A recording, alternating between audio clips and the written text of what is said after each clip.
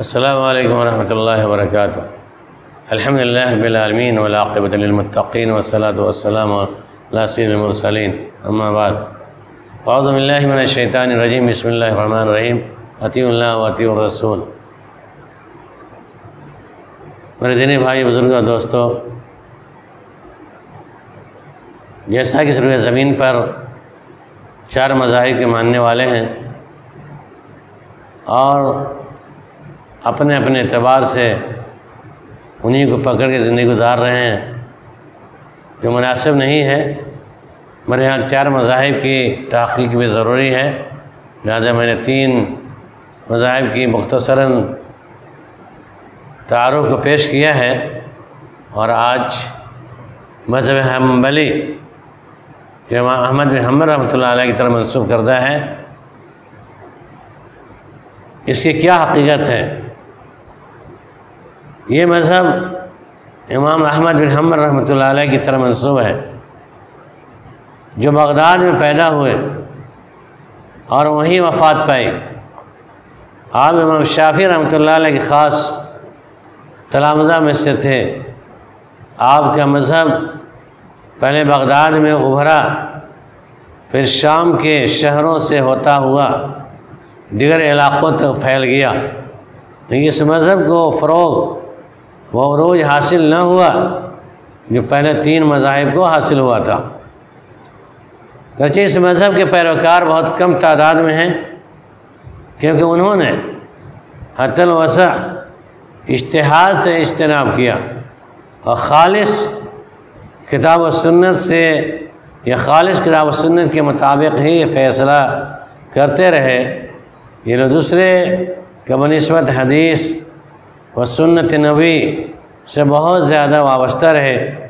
غالباً یہی وجہ ہے کہ یہ مذہب ظاہریت کے اعتبار سے بہت ہی کم ہے اور ظاہریت کے بہت زیادہ قریب بھی ہے اور تعداد کے اعتبار سے بہت کم ہے۔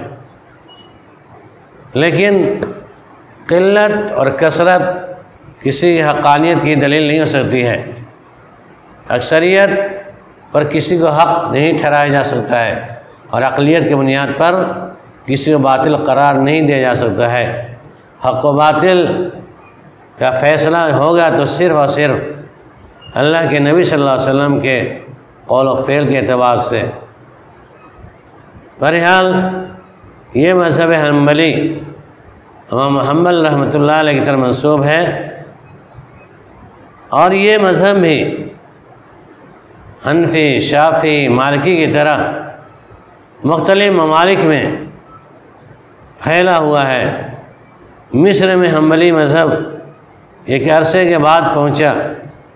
سب سے پہلے مصر میں داخل ہونے والے حنبلی امام منصف حنبلی امام مصنف مصنف عمدۃ الحکام یعنی مصر کے اندر سب سے پہلے حنبلی مسلک کے ماننے والے امام جو عمدۃ الحکام کے رائٹر ہیں، حافظ عبدالغنی مقدسی تھے، وہ داخل ہوئے۔ دور ایوبیہ کے آخر میں اس مذہب کو مصر میں فروغ حاصل ہوا۔ عراق و شام کے علاوہ موصل، آذربائیجان، آرمینیا وغیرہ میں بھی یہ مذہب پہنچا۔ لیکن یاد رہے کہ کسی دور میں بھی ایسا نہیں ہوا، اس مذہب کو کسی ملک میں غلبہ اقتدار نصیب ہوا ہو۔ کیونکہ جو صاحب اقتدار ہوا کرتے تھے، ان کے اپنے من کے اعتبار سے مسائل کو فروغ دینا اور فتوے کو رائج کرنا عام بات تھی۔ ظاہر سے بات ہے، جس ملک کے حکمراں کے خلاف سنت کے اعتبار کوئی مسئلہ صادر ہو اس کو عوام کے اندر کیسے رائے کیا جائے گا؟ چنانچہ حملی مسلک سب سے مستحکم اور ٹھوس ہے ان مذاہب کے مقابلے میں، لہذا ان کی ترویج زیادہ تر نہیں ہوئی، کیونکہ ان کی ترویج کے اندر کسی حکومت حکومت کی ہاتھ نہیں تھی، کسی حکمراں کا ہاتھ نہیں تھا، لہذا یہ فروغ نہیں ہو پایا۔ مختصر علاقے میں مختصر قسم کے لوگ ماننے والے موجود رہے اور آج بھی ہیں، امام احمد بن حمر رحمۃ اللہ علیہ کے ماننے والے موجود ہیں اور قلت میں ہیں، کثیر نہیں مطلب قلیل تعداد میں ہیں اور خاص کر سعودی کے اندر اس کے ماننے والے زیادہ ہیں۔ ظاہر سے بات ہے، آخر میں احمد بن حمد رحمۃ اللہ علیہ، انہوں نے زیادہ حدیثوں کو جمع کیا اور اس اعتبار سے مسلم احمد بن حمل رحمۃ اللہ علیہ کی تسلیم کردہ کتاب ہے۔ اس کے اندر زیادہ تر مسائل صحیح حدیث سے ملتے جلتے ہیں۔ تو عوامی لوگ یا حکمراں کے ماتحتی میں رہنے والے لوگ یا حکمراں جو اپنے مرضی سے اسلام کو چلانے والے جو لوگ تھے، وہ کیسے امام احمد الحمر رحمۃ اللہ علیہ کے مسائل کو لیتے؟ جو علیہ حدیث کی طرف دعوت دے رہے تھے، لہٰذا ان کے مسائل کو لینے سے گریز کیا۔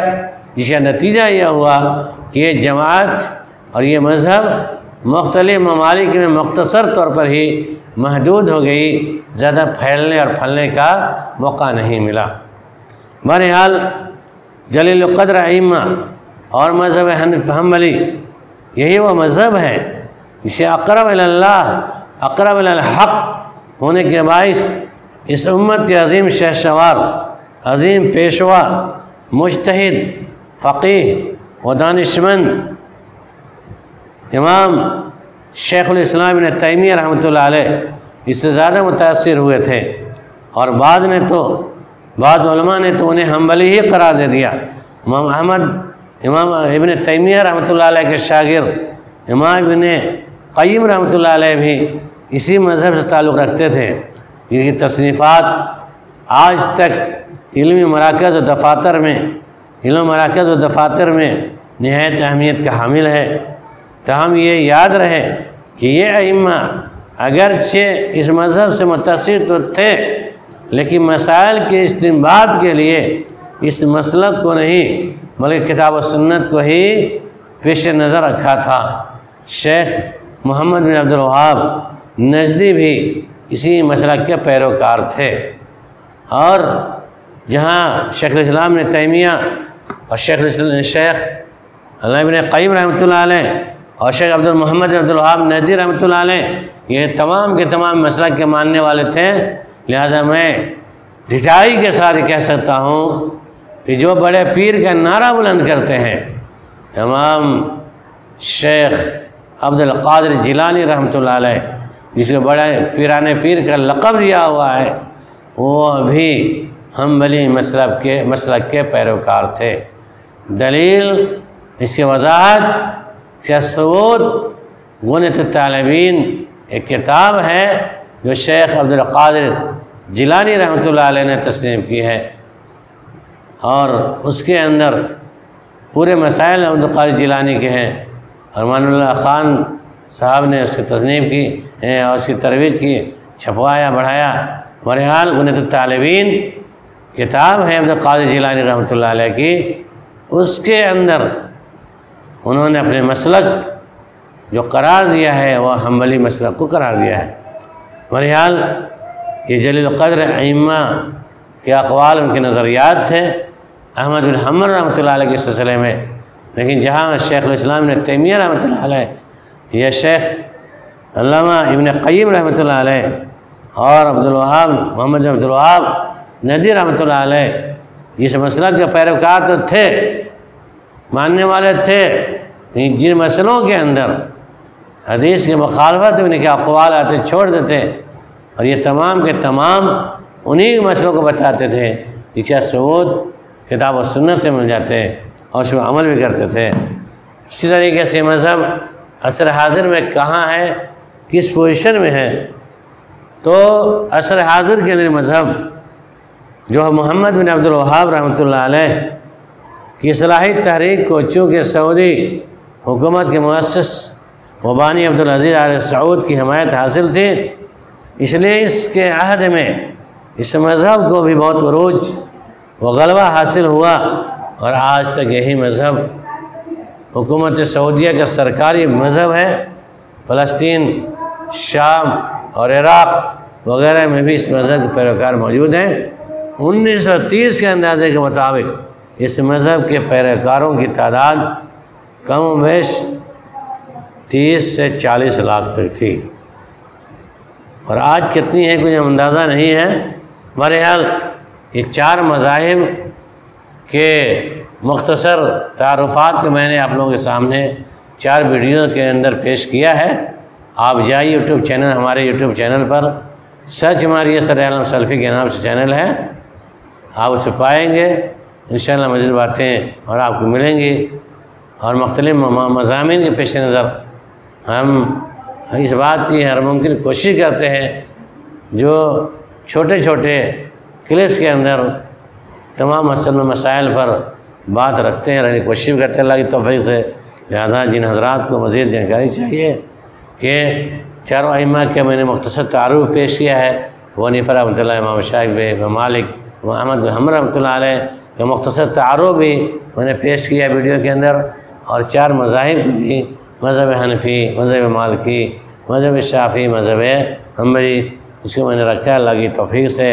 آپ نے استفادہ خاطر اس عالم ٹی وی چینل کو یسر عالم سلفی کے نام سے آپ سچ ماریں۔ آپ کو تمام چیزیں وہاں موجود ہوں گی۔